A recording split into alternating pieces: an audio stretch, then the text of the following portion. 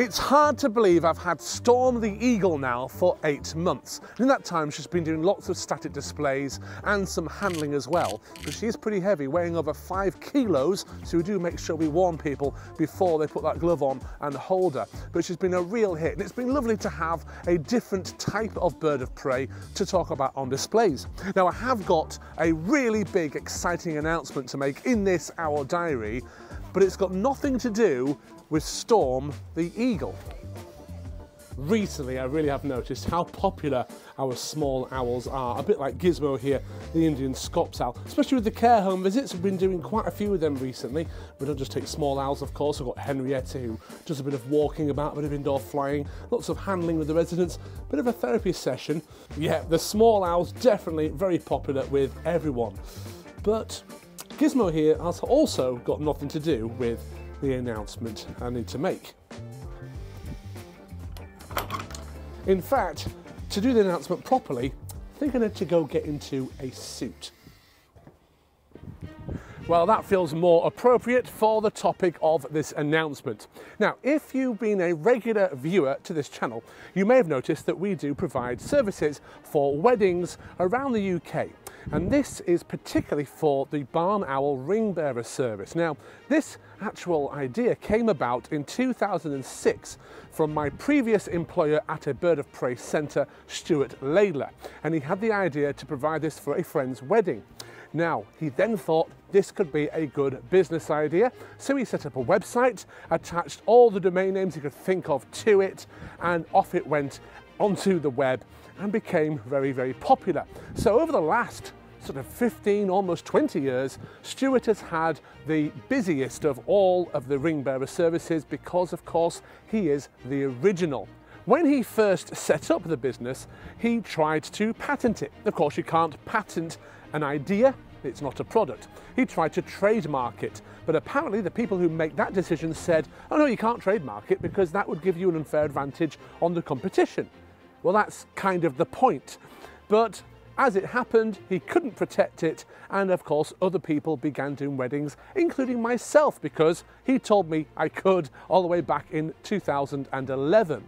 So over the years, I've been doing about 10, maybe 15 weddings a year, mostly around the Yorkshire area of the UK. Well, the exciting announcement is that this January 2024, I completed in the purchase of that original ring bearer business. I folded it into my enterprise, which means we have gone from doing a dozen or so weddings a year to just over 100 weddings per year all around the UK. And since I've taken on the website and changed the details to my details, I'm receiving one or two inquiries a day, every single day, and we've taken quite a few bookings, including some really stunning venues like some castles, some places by the coast, and we even have a booking for next year that has been confirmed, deposit paid for Santorini in Greece. Yes, I'll be taking a bird on a plane to visit a part of Europe that isn't the UK and maybe we'll be doing more weddings abroad. We'll just have to see. Of course, I'll do a YouTube video on that very trip. It should be very exciting. Now this is great for us because we love doing weddings. There are a few things in the world of falconry display work where you get to wear a suit or a nice dress, but also the atmosphere at the weddings is really special too. The way it works is we turn up about an hour before do a little practice flight with the best man or whoever's going to accept the rings, and then we hide away, perhaps get the suit on, get ourselves ready, decide where we're going to sneak in from, and when the moment arrives, we present the owl as she flies down the aisle with the rings as a big surprise to the guests. We also let the guests hold the owl, include it in some of their photos, and we also provide extra handling with other birds of prey and flying shows at weddings as well. So the admin has gone through the roof. I've had to employ an admin assistant, a PA if you like. Things are all going in the direction we want them to. And I'm certainly going to share this journey that Owl Adventures is on with you here on this YouTube channel. So now that I own the UK's leading owl wedding business, Whoever thought such a thing could exist? I need to think a little bit about what birds I've got here and what I'm going to do and where I'm going to keep them. Now, please remember that this particular premises is not going to be a permanent thing, just something that'll work for a few more years. Say hi, Maverick. Been very noisy while I uh, do the uh, little talk here. So we have got some space at the end here to build some more aviaries and this uh, sort of safety corridor here can extend. So this shelter here is just a place to keep boxes. I've just cleaned this one out and some of the underneath there uh, just to keep them dry.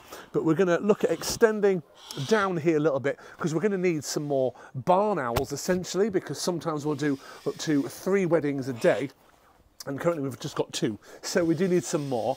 So just recently we did a wedding for Derek and Dawn down in Chester and Dee, one of our team members, went and did that wedding with Juno the barn owl and Diego the white-faced owl. It's actually the first wedding she's ever done. I should probably announce actually, since this is a wedding episode of the uh, Owl Diary series, that I did propose to Dee just a few weeks ago, and I'm pleased to say she said yes. So we are planning to get married in September of 2026, about two and a half years away. And before you ask, we're not going to have any of the owls liver rings at our wedding. Though quite a few people have asked us that question. In further promotion of the Owl Wedding stuff, I have had an article done in the Stray Ferret, which is an online magazine, newspaper for the Yorkshire region, and BBC Radio York picked up on that, so I did actually take an owl into the studio and have a quick chat there, which means I ended up on the BBC News. Well, at least I'm on the news for a positive reason. So as well as some extra barn owls this year, we're also going to get another Harris Hawk because we use those for flying experiences and flying shows, and of course the pest control, which is picking up all the time. And we also are looking at getting another large owl, possibly a Bengal eagle owl, something like that, which we'll hand rear. We'll show you that here on the channel from getting it from a, a chick about two weeks old to rearing it and training it to fly free, because that sort of large owl will actually fly to the glove very easily, a bit like a barn owl or a Harris Hawk would, which would be fantastic for the flying experiences and that kind of work and that we do.